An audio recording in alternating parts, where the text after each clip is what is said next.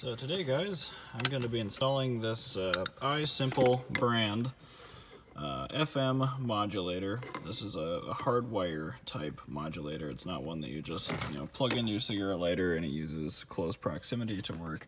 This actually hijacks your uh, antenna connection in the car right here. So it has an in and an out. So all of your radio signal for the car runs through this. Um, and actually the quality is getting better and better I feel like. It's not as good as CD quality necessarily but for a vehicle like this 987 Porsche Boxster where it has this fiber optic connection for the stereo amplifier your options are very very limited. What you can actually do for an aftermarket iPod input uh, the reason why I went with this iSimple one instead of just a off-the-shelf knockoff something or other uh, is because it comes with this interface adapter, which I suppose you could just buy separately and install on anything, uh, which takes a standard MFI certified lightning cable and uses this box to A, charge your phone, and B, break out the audio into RCA connections, which this can then use. Um, and yeah, uh, after it gets processed by this box, which is obviously powered at the same time, it goes out through the antenna via one of two frequencies, which are controlled by that little switch in there. Defaults to 87.9, you can switch it to 88.3. Um, I had previously installed a fiber optic breakout adapter in this car, which did not work. A little unfortunate, but it's very, very high technology, so it's not surprising that it didn't work. Um, first step, I'm actually just gonna kind of get everything set into place and turn it on to make sure it works. Um, it did come with some instructions, but I'm not really the instruction type. So right now I'm gonna hook up both the in and the out of the antenna, which will, in this case, require some European car adapters, which luckily I already had um, from the previous installation. Hopefully this works. Otherwise, I did buy some new ones as well. Um, just gonna plug in the antennas to the in and the out here, and then I'm going to hook up, where is it? The other end of this switch, which I have to plug in here, has a black and a red.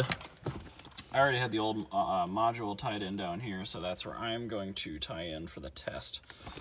Uh, this kit came with a switch, uh, I'm going to leave it in for right now. I don't think I'm going to leave it in. Uh, if this is here just to save your battery, if you have a non-switched 12 volt power supply in your car, I get that. Um, I'm a little worried though if uh, I flip this switch and it cuts off all of the incoming radio frequencies except for the RF modulator. So I'm going to verify that before I remove this switch from the equation. Um, but we'll learn together on that one I'm to go ahead and hook this all in right now and I'll kind of show you where we're at. Alright, so there I've got the red and the black on some switched 12 volt power. I've got my switch hooked up here, it's on. I have the box hooked into both the antennas and I've, sorry there's not much more room back here, but since the fiber optic and all that. Alright, so I go over to FM. And, wow, I've actually never used this radio before.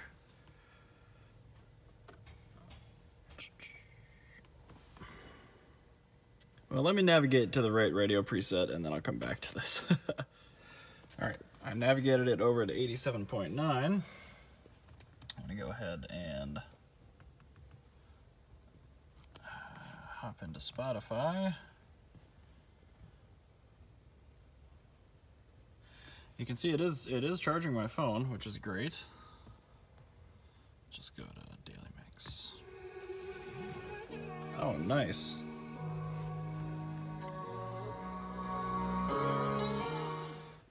Sorry, I had to cut off the music. I don't want to risk the ad revenue change here. So, uh, that works really, really well. Um, what I'm going to do now is turn it back up for a second and then flip the switch off and see if that kills it.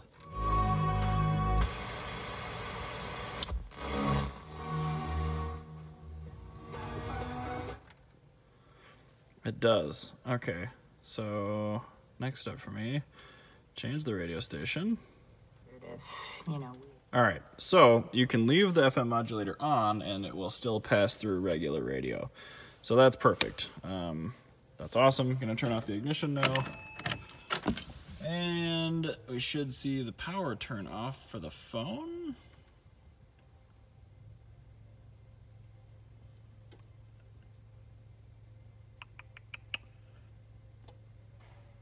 Might be waiting for a delay relay here. Hmm. I might have to lock the car for that outlet to turn off. It is important um, that you put this on a switched 12 volt power supply if you're going to get rid of this switch because otherwise it'll eat your car battery, which is not something you want. I'm actually going to try to lock the car here.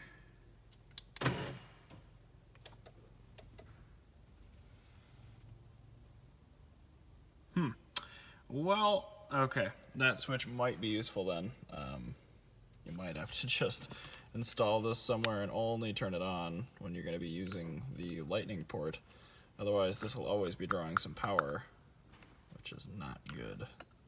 Hmm. Weird.